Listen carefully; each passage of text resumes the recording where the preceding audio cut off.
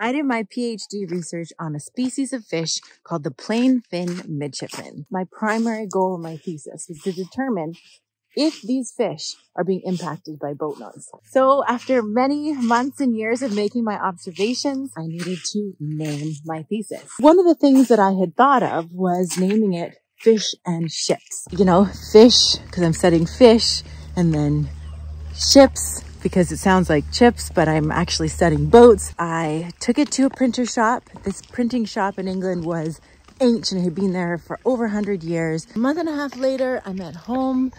I hear a knock on the door. I run outside and the package has arrived. There it is, my thesis. It's perfect. It's purple, just like I'd asked. It's bound beautifully. And then I read the title and embossed in gold on the front, it says fish and chips.